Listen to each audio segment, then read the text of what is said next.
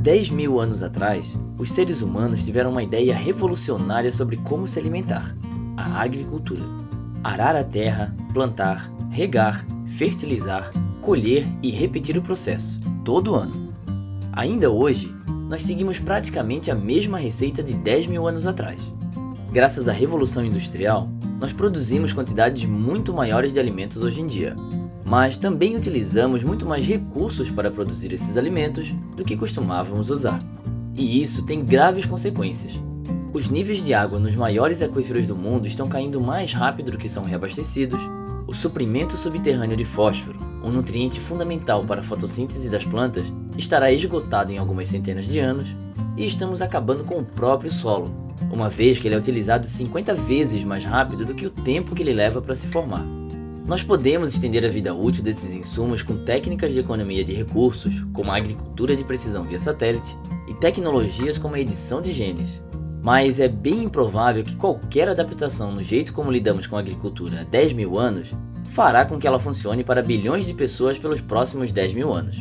Então, o que os humanos do futuro farão para garantir o seu jantar?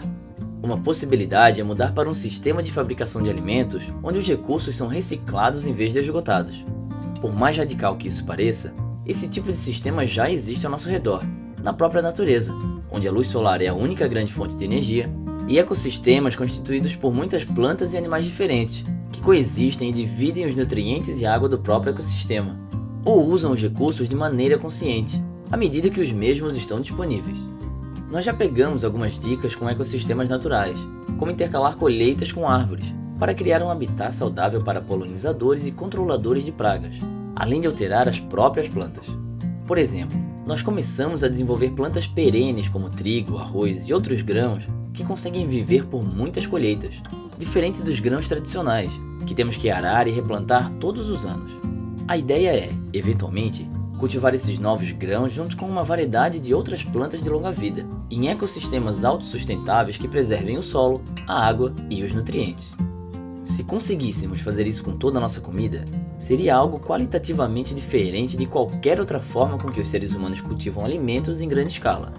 Nada de caçador-coletor, muito menos plantar, colher e repetir, mas sim uma espécie de mistura futurista entre os dois. Esse foi o Minuto da Terra. Se você gostou desse vídeo, clique em gostei e compartilhe com seus amigos. Além disso, não esqueça de clicar no sininho e ativar as notificações para ficar sabendo assim que tiver vídeo novo. Se é a sua primeira vez no canal, se inscreva e até a próxima!